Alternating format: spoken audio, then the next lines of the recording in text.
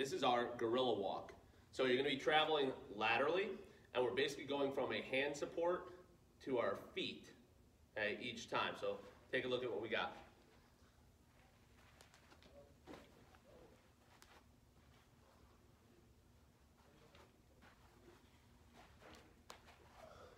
So the goal here is we're reaching the hands laterally past the feet.